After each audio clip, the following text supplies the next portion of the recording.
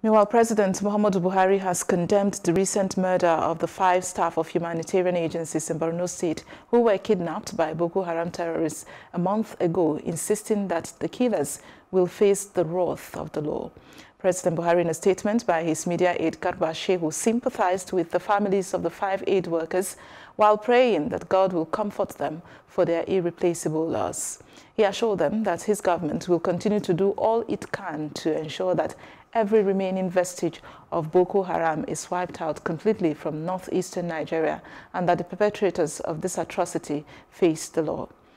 The president also condoled with the State Emergency Management Agency, Action Against Hunger, Reach International and International Rescue Committee, whose staff have suffered this gruesome fate.